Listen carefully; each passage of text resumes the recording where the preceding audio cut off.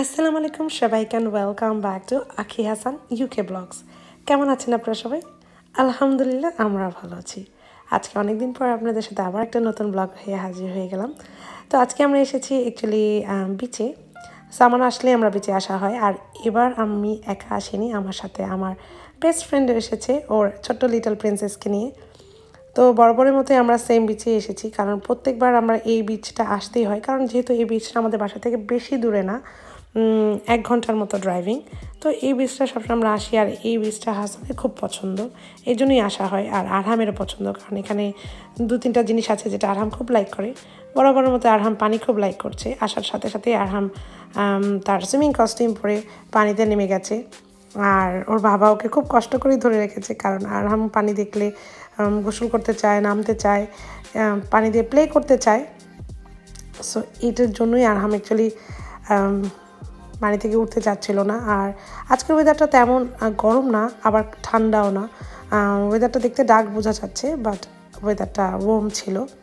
আর এখানে আরহামকে অনেক ওখান থেকে মানে পানি থেকে অনেক কষ্টে আনা হয়েছে। আনা হওয়ার পরে আমি আরহামকে আর আমাদের ছোটো লিটল প্রিন্সেসকে দুটো ললিপপ কিনে দিয়েছি। আর আরহাম তার ললিপপ খেতে ব্যস্ত, আপাতত সে পানিতে নামতে চায় না ললিপপ খাবে আর এছাড়া আমার ফ্রেন্ডের সাথে যেও আরহাম টুকিটাকে অনেক কিছু কিনে নিয়ে এসেছে, যেমন স্যান্ডের জন্য কিছু জিনিস কিনে নিয়ে এসেছে সুইমিংয়ের জন্য নিয়ে এসেছে। আবার এছাড়া একটা আই ডোন্ট নো এটাকে কী বলে এই জিনিসটাও কিনে নিয়ে এসেছে। আর আসলে নর্মাল জায়গাগুলো থেকে বিচের থেকে যদি আপনি কিছু কিনেন, তো অনেক এক্সপেন্সিভ তো এইসব জিনিস আরহাম তো বুঝে না, তো অবভিয়াসলি ও কিনবে। আর আমার ফ্রেন্ড ওকে যা চেয়েছে কিনে দিয়েছে। এরপর অ্যাকচুয়ালি লাঞ্চের সময় হয়ে গেছিল। আর হাসান আমাদের জন্য লাঞ্চ কিনে নিয়ে এসেছে। আমরা রেস্টুরেন্টে বসে খাওয়ার কথা ছিল বাট বিচ দেখব আর বসে বসে লাঞ্চ করব। এটাই হাসানের প্ল্যান ছিল।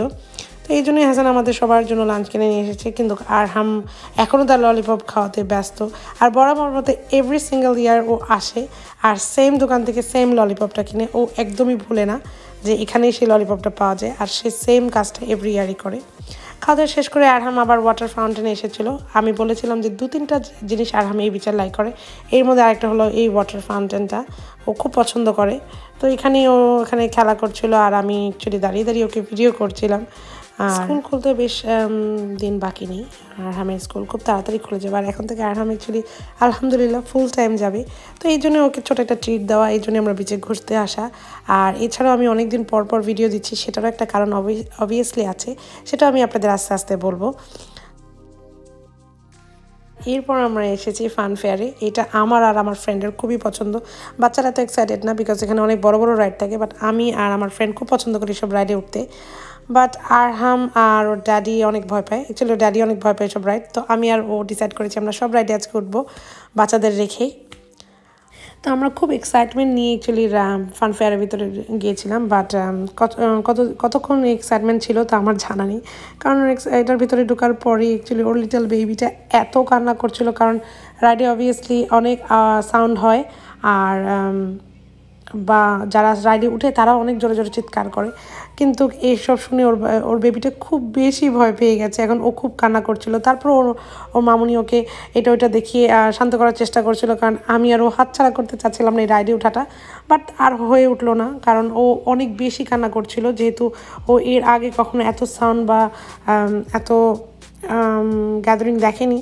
তো এই জন্য ও বেশি কান্না করছিল। এই ফ্যান ফেয়ারটা আমি গত দুই তিন বছরে একবারও উঠতে পারিনি। কারণ এর আগে যখন আরহামকে আনতাম, তখন আরহাম খুব ভয় পেতো কানাকাটি করতো। তো আমরা ফান ফেয়ারে ঢুকতেই পারতাম না।